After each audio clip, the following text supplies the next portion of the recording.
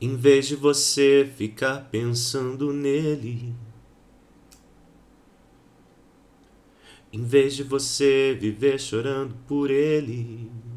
Pense em mim, chore por mim, liga pra mim, não, não liga pra ele, pra ele. Não chore por ele. Galera, atualização 5.3 vai chegar em breve no Smite, semana que vem. A gente teve o patch note essa semana e eu tô trazendo para vocês aqui algumas coisas interessantes e a gente já vai partir para os nerfs e buffs.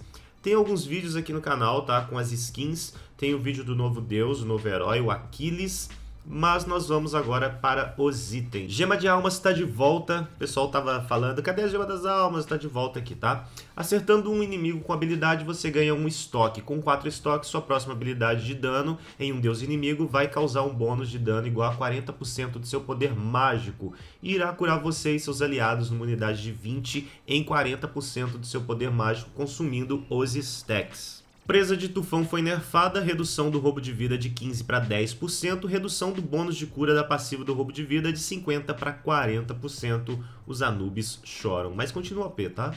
Cajado do Feiticeiro, também nerfado, diminuído o poder dele de 75 para 65, reduzido o poder de stack de 0.6 para 0.5. Ele vai ficar agora com 115 de poder mágico quando tiver evoluído, ao invés de 135.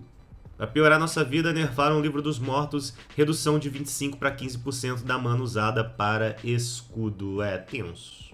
Tivemos mudanças na malícia, redução do poder físico de 50 para 40, aumento de chance de crítico de 20 para 25, nova passiva, Cada acerto crítico contra um inimigo dá um stack. Com 3 stacks, sua próxima habilidade de dano em um deus inimigo vai consumir esses stacks e vai causar um dano equivalente a 120% do seu poder físico. O dano é aplicado em 3 ticks em 2 segundos. Ficou extremamente OP. É como se você tivesse um triturador, só que agora de malícia, e se você usar malícia e o triturador na Serquest, vai solar todo mundo. Mudanças na Fúria também, o um aumento do custo de 2.400 para 2.500, redução do poder físico de 30 para 20, aumento na chance de acerto crítico por stack de 1 para 2%. A Fúria agora dá um total de 40% de chance de crítico quando tiver evoluído ao invés de 35%. É um item que vale a pena você dar uma olhada aí, talvez. Ah, eu quero fazer um crítico, ah, faço a Fúria. Devorador de Almas teve algumas melhorias, redução dos stacks de 100 para 75, já é um começo, né? Aumento do bônus de poder físico na forma evoluída de 10 para 20, melhor ainda. E o Devorador de Almas agora dá 60 de poder físico evoluído ao invés de 50. É um buffzinho interessante ali, diminuindo os stacks. Eu acho bem legal e aumentando o poder, ficou show de bola. Benção de Guerreiro, aumento na proteção bônus na forma evoluída de 10 para 10, de 15 para 15, que são 10 de proteções mágicas e físicas, vão ser agora 15 de proteções mágicas e físicas. Redução nos stacks ganhos de Deus de 5 para 3. vai precisar estocar um pouco mais, bater um pouco mais para estocar, mas ela vai dar um pouco mais de defesa, tá? Benção do Caçador, ajustada a maneira como o item fornece o bônus de dano no ataque básico.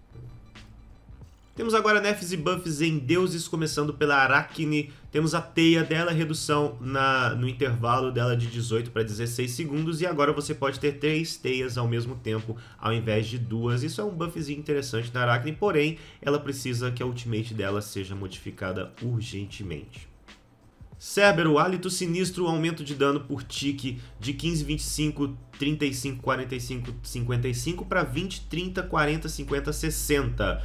O expurgo de almas do Cerbero, aumento do alcance de 40 para 50, ou seja, ele vai poder pular um pouquinho mais longe.